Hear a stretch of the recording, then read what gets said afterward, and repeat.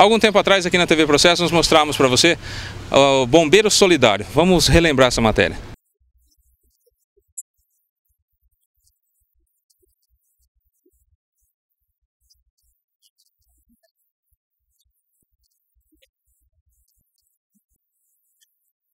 Aí, como disse o Sargento Saraiva, ia se arrecadar brinquedos e foram arrecadados 171. Nós vamos voltar a conversar com o Sargento Saraiva que vai explicar para a gente como que aconteceu tudo isso. É isso aí, Fábio. A nossa campanha foi um sucesso. Mais uma vez nós tivemos a participação da população matonense que colaborou, que foi lá no Corpo de Bombeiros e doou o brinquedo novo, usado em boas condições. E nós conseguimos arrecadar 171 brinquedos.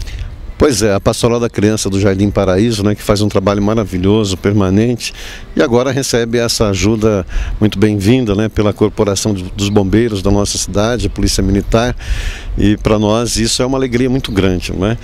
Todas essas organizações e as pessoas de forma voluntária fazendo um ato de solidariedade neste Natal, na festa da confraternização universal, em que celebra-se naqueles que liturgicamente celebra o dia do nascimento do menino Deus, e aí então proporcionando alegria para muitas crianças. E proporcionar alegria às crianças é proporcionar a presença do nosso Deus no meio das famílias, não é? Foi uma surpresa para vocês o Cidinho ter escolhido a pastoral?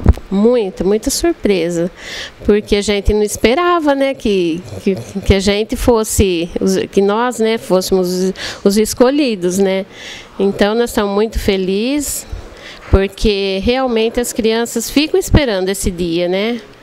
Então para nós foi muito gratificante. É a TV Processo mostrando para você tudo o que acontece na cidade.